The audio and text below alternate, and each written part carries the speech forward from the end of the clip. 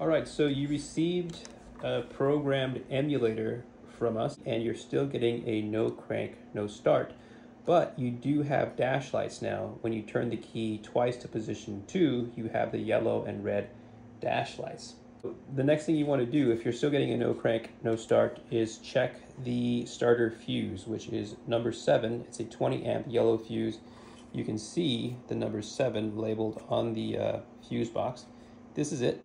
Pull that out and check that it looks good, that the fuse is not broken. If that's good, check the starter relay. It's green, and if you pull it up, it is labeled M. You can see that there. You want to test the relay. I'm not going to show you how to test the relay. There's a thousand videos on YouTube on how to test the relay.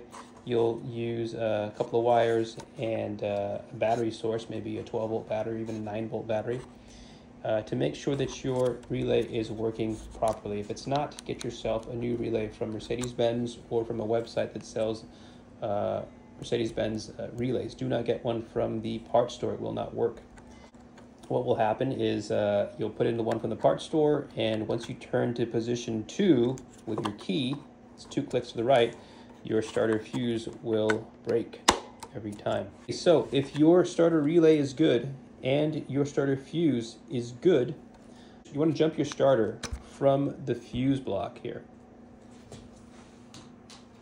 So you'll take a piece of, uh, this is 14 gauge household wire, flattened the ends, with a hammer. And you want to take this and stick it into this slot here in the back and this slot here. That is 87 and 30. And when you stick these two in, you should hear your starter cranking, and you may even get a start if you have your key turned to position two. And if you do get a crank, that means that your starter is good. We know your starter is good now. Uh, and if your fuse and relay are good, there's only one thing left that it could be. It's probably going to be your ECM, your engine control module. If you got to that point, give us a call. We'll talk to you about replacing your engine control module.